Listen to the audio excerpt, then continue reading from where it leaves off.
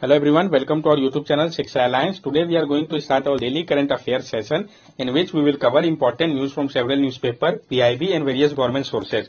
So let's begin our session. Our first topic is minimum support price. हम MSP के बारे में जानेंगे minimum support price के बारे में.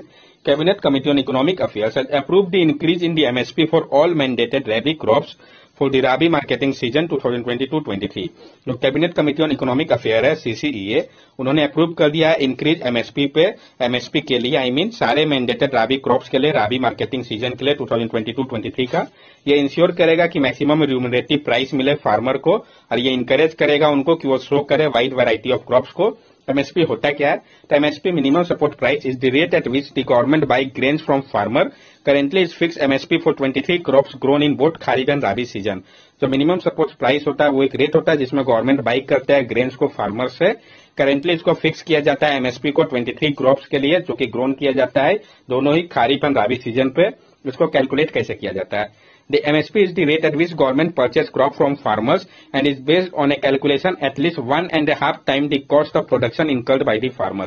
जो एमएसपी होता है वो एक रेट होता है जिसमें गवर्नमेंट परचेज करते हैं क्रॉप्स को फार्मर से, और ये बेस होता है कैलकुलेशन के ऊपर कम से कम at least one and half time होना चाहिए, जो कॉस्ट है प्रोडक्शन का, जो कि इंकल्ट किया गया है फार्मर के द्वारा, उससे वन एंड हाफ़ टाइम अधिक होना चाहिए।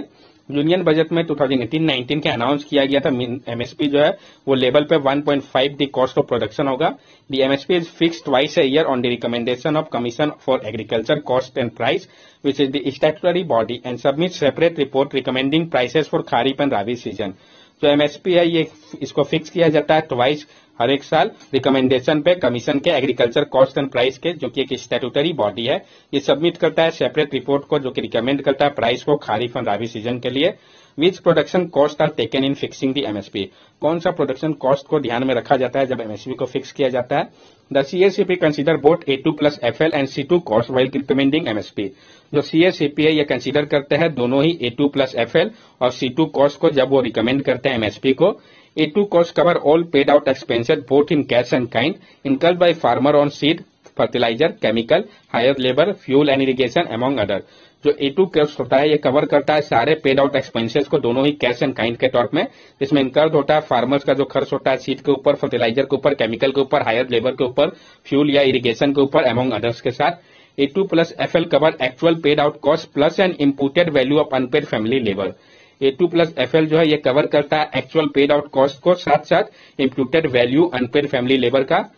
C two cost account for the rental and interest foregone on owned land and fix capital asset respectively on top of A two plus F L और जो सी two cost होता है, ये account करता है रेंटल और इंटरेस्ट को, जो कि लग रहा है ओन लैंड के ऊपर और फिक्स कैपिटल एसेट के ऊपर respectively top of A two plus F L के। लिमिटेशन क्या है एमएसपी का? The major problem with the MSP is lack of government machinery for procurement for all crop except wheat and rice which the Food Corporation of India actively procure under the PDS जो major problem है MSP का, वो lack of government machinery या procure करने के लिए सारे crops को सिर्फ़ एक्सेप्ट वेट राइस को छोड़ के जिसको कि Food Corporation of India actively procure करता है पीडीएस के अंतर्गत। As state government procure the last mile grain the farmer of state well the grain is procure completely by the government benefit more while those in state that procure less और often affected state government procure करता है last mile grain को। इस कारण जो farmers है state के, जहाँ पर ग्रेन को प्रोक्योर किया जाता है कंप्लीटली गवर्नमेंट के द्वारा, उनको बेनिफिट ज़्यादा होता है। उन स्टेट के कंपेरिजन पे जो कि प्रोक्योर करते हैं लेस को the MSP based procurement system is also dependent on middle man commission agent and APMC official which smaller farmer find difficult to get access to और जो एमएसपी बेस्ड प्रोक्योरमेंट सिस्टम है, ये dependent है middle man commission agent और APMC official के ऊपर, जिसको small farmer जो है फाइंड करता है डिफ़िकल्ट एक्सेस कर पाने में। नेक्स्ट टॉपिक हमारा outpatient opioid assistant treatment centre जो आपका ओओएटी है outpatient opioid assistant treatment centre हम इसके बारे में जानेंगे। The state government in Punjab is banking on outpatient opioid assistant treatment centre to the drug menace in the state जो state government है पंजाब के, वो तैयार कर रहे हैं outpatient opioid assistant treatment centre को, ताकि कर्व किया जा सके ड्रग मेनेंस को स्टेट में। तो कौन सा स्टेट तैयार कर रहा है outpatient opioid assistant treatment centre को तो पंजाब OAT सेंटर है क्या? The move to set up AT centre in Punjab began in October 2017 जो मूव था कि सेटअप किया जाए outpatient opioid assistant treatment centre O AT centre को पंजाब में। ये स्टार्ट हुआ था 2017 के अक्टूबर मंथ में। सेंटर ने एडमिनिस्टर किया था दी एडिक्शन मेडिसिन को। जो कि कॉम्बिनेशन है ब्यूफ्रोनोफ्राइन एंड लेलॉक्सन का ओपियड डिपेंडेंट पीपल जो कि रजिस्टर होंगे वहाँ पे।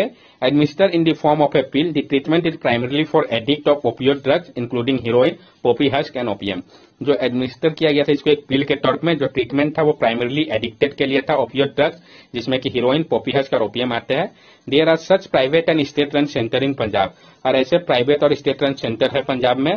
क्यों पंजाब गवर्नमेंट प्लान कर रही है इसके लिए? तो Punjab is planning to open O link extension centre and clinic in rural areas to broaden the outreach of this treatment Punjab plan कर रहे हैं कि वो ओपन करेंगे ओ ओ एटिल इंक एक्सटेंशन सेंटर और क्लिनिक को रूरल एरियाज़ में भी ताकि वो ब्रॉडन कर सके आउटरीच को इस ट्रीटमेंट का जो आइडिया है इसके पीछे ताकि पेशेंट को मेडिसिन मिल सके नियरर प्लेस में रेजिडेंट के और ये जो है रिड्यूस करेगा पेशेंट को एग्जिस्टिंग ओ सेंटर के बीच में जो कि कैटर कर रहे हैं पेशेंट को far of places the administering medicine at O O AT center जो एडमिनिस्टर करना है मेडिसिन को ओ एटी सेंटर पे the patient are broadly put into three category और फेजेस जो पेशेंट है, उसको ब्रॉडली तीन कैटेगरी या फ़ेज़ में रखा गया है। In the introduction phase, the newly registered patients are administered medicine at the OOAT center for a week or two to manage withdrawal symptoms in the presence of the doctor and counselor.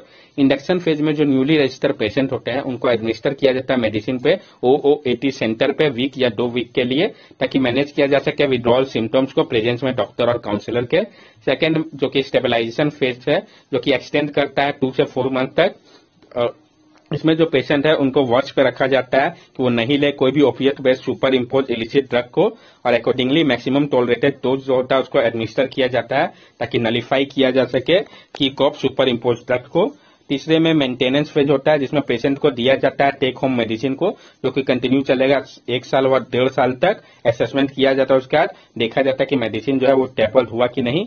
Why's Punjab banking so much on O AT therapy क्योंकि पंजाब जो है काफ़ी ज़्यादा focus कर रहा है ओ AT therapy के ऊपर।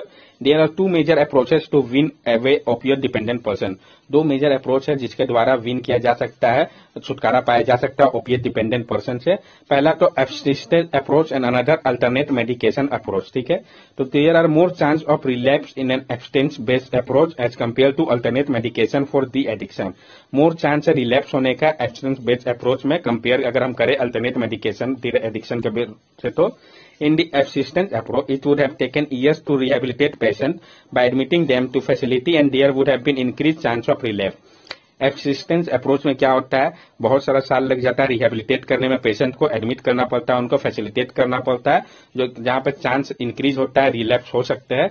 जबकि अल्टरनेट मेडिकेशन अप्रोच में क्या होता है? ये एक्नोलॉज किया गया कि बेटर है वेरियस साइंटिफिक स्टडी के अनुसार वर्ल्ड वाइड नेक्स्ट टॉपिक है हमारा Assam government unveiled electric vehicle policy तो हम जानेंगे जो असम गवर्नमेंट ने अनविल किया इलेक्ट्रिक व्हीकल पॉलिसी को इसके बारे में Assam government has unveiled an electric vehicle policy for phasing out vehicle running on fossil fuels by 2030 Assam government ने अनविल किया एक इलेक्ट्रिक व्हीकल पॉलिसी को, जो कि फ़ेज़ आउट करेगा व्हीकल को, जो कि रन कर रहा है फॉसिल फ्यूल पे 2030 तक।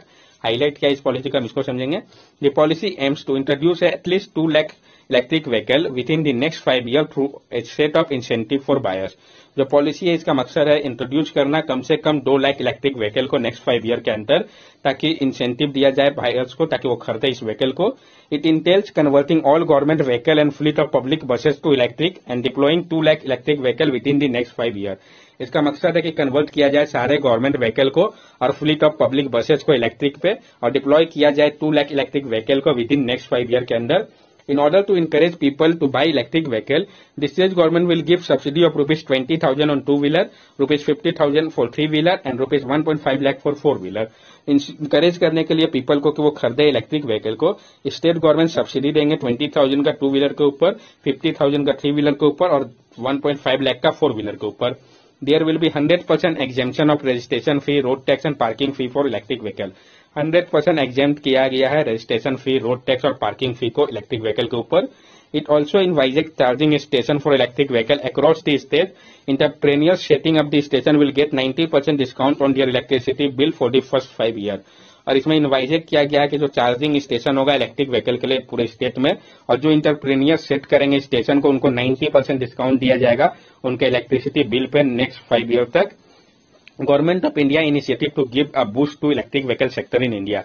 अब जो गवर्नमेंट ऑफ़ इंडिया इनिशिएटिव ले रहे हैं बूस्ट करने के लिए इलेक्ट्रिक व्हीकल सेक्टर को भारत में तो government aims to six million electric and hybrid vehicle on road by 2020 under the national electric mobility mission plan 2020 जो गवर्नमेंट है, उनका मकसद था कि वो देखे सिक्स मिलियन इलेक्ट्रिक और हाइब्रिड व्हीकल को रोड पे 2020 पे national electric mobility mission plan 2020 के अंतर्गत फेम इंडिया स्कीम जो था faster adoption and manufacturing of electric vehicle in India ताकि इंप्रूव किया जा सके इलेक्ट्रिक मोबिलिटी को भारत में। Implementation of smart city would also boost the growth of electric vehicle और जो इम्प्लीमेंटेशन है स्मार्ट सिटी का, ये बूस्ट करेगा ग्रोथ को इलेक्ट्रिक व्हीकल का। लेकिन कुछ चैलेंजेस भी है इसको लेके। तो क्या चैलेंजेस हम इसको समझते हैं? The Indian electric vehicle market currently is one of the lowest penetration rate in the world जो इंडियन इलेक्ट्रिक व्हीकल का मार्केट है, वो करेंटली लोवेस्ट पेनिट्रेशन रेट है वर्ल्ड में। Capital cost are high and pay off is uncertain जो capital cost वो काफ़ी अधिक है और पे ऑफ़ भी अनसर्टेन है। जो इंडियन इलेक्ट्रिक व्हीकल इंडस्ट्री है, वो काफ़ी ज़्यादा हिट हुआ है रूपी ड्रामेटिक डिप्रिसिएशन के कारण रिसेंट मंथ में। जो लोकल प्रोडक्शन है इनपुट का इलेक्ट्रिक व्हीकल का, वो भी जस्ट अबाउट 35 परसेंट है टोटल इनपुट प्रोडक्शन का। The production will severely affected in terms of production cost जो प्रोडक्शन है वो काफ़ी ज़्यादा इफ़ेक्ट हो रहा है प्रोडक्शन कॉस्ट के कारण भी। FAME faster adoption and manufacturing of hybrid and electric vehicle framework इसको भी एक्सटेंड किया गया है रिपीटेडली इसी कारण। And assented policy environment and the lack of supporting infrastructure are major road block और जो एक अनसर्टेन पॉलिसी इन्वायरमेंट है और जो कमी है सपोर्टिंग इंफ्रास्ट्रक्चर का, ये एक मेजर हडल है। India does not have any known reserve of lithium and cobalt which make it dependent on import of lithium ion batteries from Japan and China India के पास कोई नॉन रिज़र्व नहीं है lithium और cobalt का, जो कि इसको डिपेंडेंट बनाता है इंपोर्ट करना पड़ता है लिथियम आयन बैटरी को जापान और चाइना से। ये भी एक बहुत बड़ा इश्यू है। नीड ऑफ़ द आवर क्या है? For electric vehicle to contribute effectively we need commensurate effort in developing an entire ecosystem electric vehicle को कंट्रीब्यूट करने के लिए इफेक्टिवली हम लोग को ज़रूरत है कि हम कमेंसुरेट करें एफर्ट को डेवलप करने के लिए एक इंटायर इकोसिस्टम को। Need to shift the focus from subsidizing vehicle to subsidizing battery because battery make up 50% of electric vehicle cost. ज़रूरत है शिफ्ट करने का फोकस को हमको सब्सिडाइज व्हीकल कर, को करने की जगह सब्सिडाइज करना चाहिए बैटरीज को क्योंकि बैटरी जो है वो 50 परसेंट इलेक्ट्रिक व्हीकल का कॉस्ट के लिए जिम्मेदार है रीजन है। तो अगर बैटरी को हम सब्सिडाइज करेंगे तो ऑटोमेटिक व्हीकल का कीमत भी कम होगा और ज़्यादा से ज़्यादा लोग परचेस करेंगे। Increasing focus on incentivising electric two wheeler because two wheeler account for twenty six percent of the vehicle in the country and consume most of the fuel और हमें इंक्रीज करना होगा, हमारे फोकस को इंसेंटिवाइज करने को लेकर इलेक्ट्रिक टू व्हीकल के ऊपर, क्योंकि दो व्हीलर जो है वो अकाउंट करता है सेवेंटी सिक्स परसेंट व्हीकल का कंट्री पे, और ये कंज्यूम करता है ज़्यादातर फ्यूल को। इस कारण टू व्हीलर्स के ऊपर ज़्यादा फोकस करना होगा। A wide network of charging station is eminent for attracting investment और जो वाइड नेटवर्क है चार्जिंग स्टेशन का, ये काफ़ी एमिनेंट है अट्रैक्ट करने के लिए इन्वेस्टमेंट को। जो वर्क प्लेसेस है, जैसे कि tech park public bus depot multiplexes इन सब में पोटेंशियल प्लेस है जहाँ पे चार्जिंग पॉइंट को इंस्टॉल करना चाहिए। बेंगलोर में कुछ मॉल जो है, वहाँ पर चार्जिंग पॉइंट को पार्किंग लॉट में अलॉट भी किया गया है। Corporate could invest in charging station as corporate social responsibility compliance जो कॉर्पोरेट है, वो इन्वेस्ट कर सकते हैं चार्जिंग स्टेशन पे कॉर्पोरेट सोशल रिस्पॉन्सिबिलिटी कंपाइलेंस के तौर पे। Acquiring lithium field in Bolivia Australia and Chile could become as important as buying oil field as India need raw material to make battery for electric vehicle acquire करना lithium field को Bolivia Australia और Chile पे, वो उतना ही important है, जैसे कि हम बाई करते हैं ऑयल फ़ील्ड को, क्योंकि इंडिया को ज़रूरत है रॉ मटेरियल का बैटरी बनाने के लिए इलेक्ट्रिक व्हीकल का। नेक्स्ट टॉपिक है हमारा नेशनल इंस्टीट्यूट रैंकिंग फ्रेमवर्क तो हम जानेंगे नेशनल इंस्टीट्यूट रैंकिंग फ्रेमवर्क के बारे में। The education ministry recently launch the six education edition of NIRF जो हमारे एजुकेशन मिनिस्ट्री है, उन्होंने अभी हाल ही में लॉन्च किया है छठा edition national institute ranking framework NIRF का। हाईलाइट जो हम इसको देखते हैं, IIT Madras, IISc Bangalore and IIT Bombay है। Emerge as the country top three higher education institution, जो आईआईटी मद्रास है, आईआईएससी बेंगलोर है और आईआईटी बॉम्बे है। ये इमर्ज किया है कंट्री के top three higher education institution के तौर पे। Under the best college category Miranda House has again top the list this year और जो बेस्ट कॉलेज कैटेगरी है, इसमें मिरंडा हाउस जो है फिर से टॉप किया इस साल भी यूनिवर्सिटी कैटेगरी में जो आईआईएससी बेंगलुरु है, वो बेस्ट रैंक है वेरसिटी पे। ये NIRF national institute ranking framework है क्या? It is the first ever effort by government to rank higher education institution in the country ये पहला एवर एफर्ट है गवर्नमेंट के द्वारा रैंक करने के लिए हायर एजुकेशन इंस्टीट्यूशन को कंट्री पे। इसको लॉन्च किया गया था 2015 में। Participation in the NIRF was voluntary in the initial year. It was made compulsory for all government-run education institutions in 2018.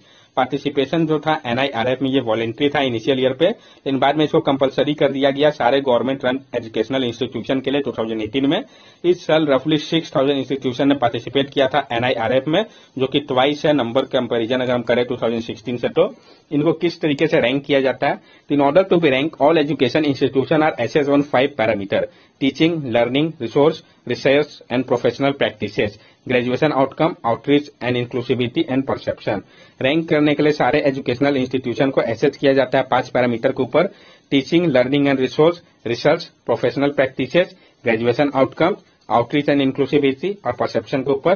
NIRF जो है वो लिस्ट करता है बेस्ट इंस्टीट्यूशन को 11 कैटेगरीज में ये कैटेगरीज कौन कौन से है? Overall national ranking university engineering college medical management pharmacy law architecture dental और रिसर्च इन 11 कैटेगरी पर वो रैंक करता है। नेक्स्ट टॉपिक है हमारा थर्टीन ब्रिक्स समिट हम जानेंगे जो थर्टीन ब्रिक्स समिट है इसके बारे में।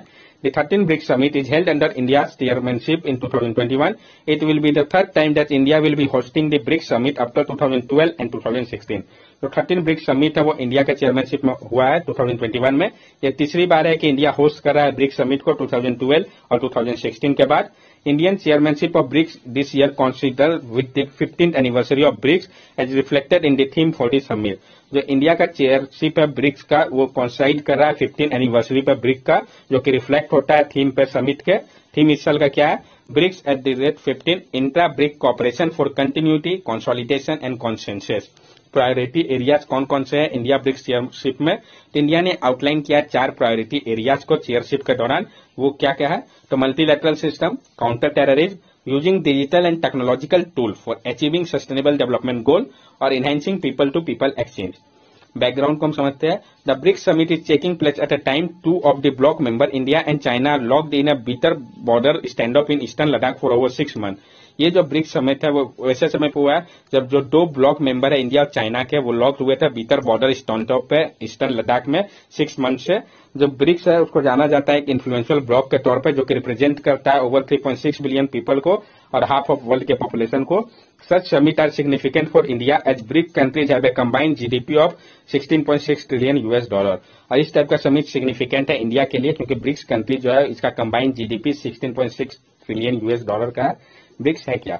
तो BRICS is the group compose of five major emerging countries, Brazil, Russia, India, China and South Africa. BRICS जो है वो ग्रुप है जिसको कि कंपोज किया गया है पाँच मेजर इमर्जिंग कंट्रीज़ के द्वारा। वो कंट्रीज़ कौन कौन से है? Brazil, Russia, India, China, South Africa. ये टुगेदर रिप्रेजेंट करते हैं 42 परसेंट पॉपुलेशन को 23 परसेंट जीडीपी का और 30 परसेंट टेरिटरी का और 18 परसेंट ग्लोबल ट्रेड का। दी एक्रोनिम ब्रिक को कॉइन किया गया था इकोनॉमिक्स जिम और नील के द्वारा। ये काफ़ी इंपॉर्टेंट है कि किनके द्वारा ये टर्म कॉइन किया गया था।